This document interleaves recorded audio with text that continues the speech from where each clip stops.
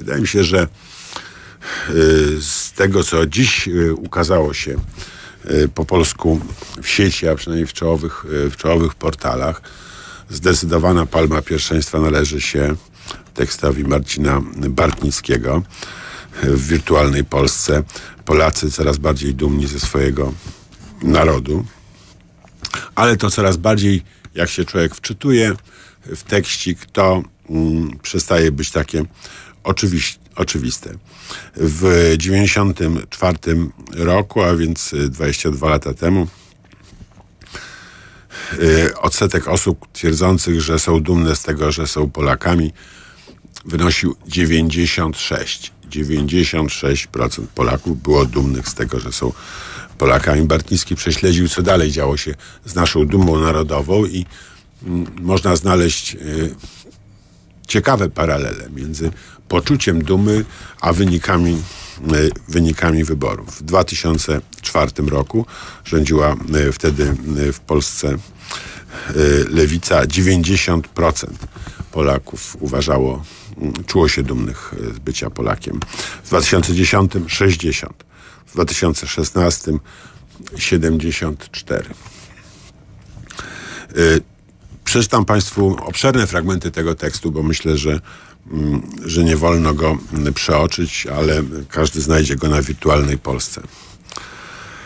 W III Rzeczpospolitej nigdy nie byliśmy tak dumni z Polski jak 20 lat temu. Później było już tylko gorzej. W ciągu kilkunastu lat poczucie dumy spadło o ponad 30 punktów procentowych. Według badania CEBOS ze stycznia 2010 roku towarzyszyło już tylko 60% Polaków. W tym zaledwie co czwarty przyznał, że czuje dumę z Polski bardzo często. W 1994 roku za bardzo dumnych z polskiej narodowości uważało się 73% Polaków.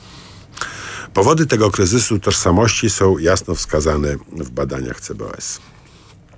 W najgorszym 2010 roku spośród Polaków pytanych o to, w jakich sytuacjach czują dumę, 27% rodaków wskazało sukcesy sportowców, 7% było dumnych z pamięci o Janie Pawle II, po 5% mówiło o historii, kulturze i sztuce oraz sukcesach Polaków na arenie międzynarodowej. Zaledwie co piąty respondent zaznaczał, że czuje dumę zawsze, w każdej sytuacji. Poza tym nic, pustka.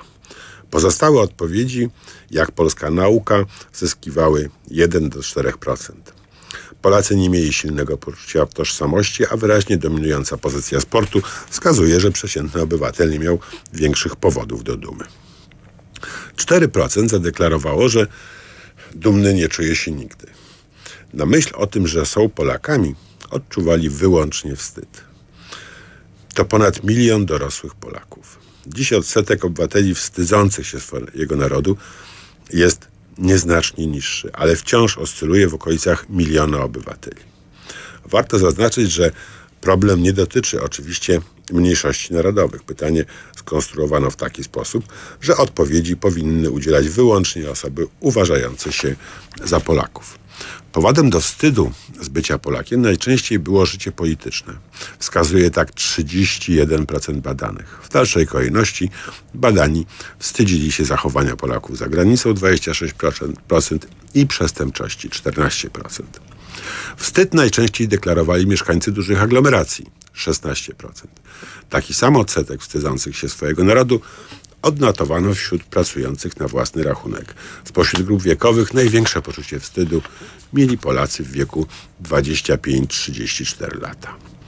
Przeprowadzony w 2011 roku spis powszechny pokazał również, że 521 tysięcy obywateli Polski nie przyznaje się do żadnej narodowości. Liczba ta nie uwzględnia tożsamości lokalnych. Trend rosnącego wstydu udało się zatrzymać dopiero w ostatnich latach. W badaniu przeprowadzonym przez CEBOS w październiku tego roku dumę ze swojej narodowości zadeklarowało 74% Polaków, a 88% przyznało, uznało się za patriotów. Powodem do dumy nadal najczęściej są sukcesy polskich sportowców. Jednak w porównaniu z badaniem sprzed 6 lat pojawiły się inne zjawiska, które wypełniły wcześniejszą pustkę. 91% respondentów za przejaw patriotyzmu uważa czytanie o historii Polski lub dowiadywanie się o niej z innych źródeł. Niemal połowa Polaków twierdzi, że robi to bardzo często. Poczucie dumy i patriotyzmu jest również coraz częściej okazywane na zewnątrz, przykład przez wywieszanie flag. Co trzeci dorosły Polak deklaruje również, że przynajmniej raz miał na sobie odzież patriotyczną. Jeszcze raz przeczytam to zdanie.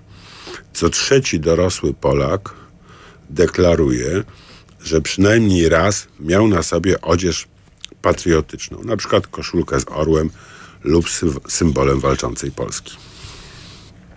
Odrodzenie się patriotycznych uczuć nie wynika ze zmniejszenia się grupy, dla której polska narodowość jest powodem do wstydu. Badania CEBOS e, dowodzą, że zmiana, która dokonała się w ostatnich latach, jest zasługą niezdecydowanych, który, którzy obecnie częściej czują dumę. Coraz wyraźniejsze podziały społeczne widać również wśród Polaków, którzy wstydzą się własnej tożsamości narodowej. Jest to już 25% mieszkańców miast powyżej 500 tysięcy. Powiem to jeszcze własnymi słowami. Co czwarty mieszkaniec miasta powyżej pół miliona osób wstydzi się własnej tożsamości narodowej w Polsce. Wstyd z bycia Polakiem czuje również co czwarty uczeń i student. To właśnie najmłodsze pokolenie, 18-24 lata, jest najbardziej poirytowane swoją przynależnością narodową. Obecnie 30-latkowie, którzy 6 lat temu czuli wstyd, najczęściej częściowo zmienili zdanie. Najbardziej zaskakuje jednak fakt, że najbardziej, twierdzi tak co piąty, wstydzą się swojego narodu obywatele, którzy zarabiają najlepiej 2000 zł na osobę w rodzinie lub więcej. Najbiedniejsi dochody poniżej 649 zł, którzy, jak mogłoby się wydawać, powinni być najbardziej sfrustrowani swoją trudną sytuacją, wstyd deklarują najrzadziej. Robi to jeden na 30. Rosnący konflikt polityczny, który, co najsmutniejsze, najbardziej widać w rocznicę odzyskania niepodległości, powoduje, że samo podejście do patriotyzmu jest już deklaracją polityczną. Zamiast jednoczyć Polaków, 11 listopada staje się pretekstem do szukania wrogów. Społeczeństwo jest przekonane, że rozpoczęła się wojna. I czas wybrać, po której jesteśmy stronie. To Marcin Bartniski, Wirtualna Polska Opinie warto ten tekst przeczytać, prześledzić, bo na pewno y, słuchając go nie wszystko można, y, można łatwo zrozumieć. Całej audycji wysłuchasz w aplikacji mobilnej TokFM oraz w archiwum na stronie tokefm.pl ukośnik audycje.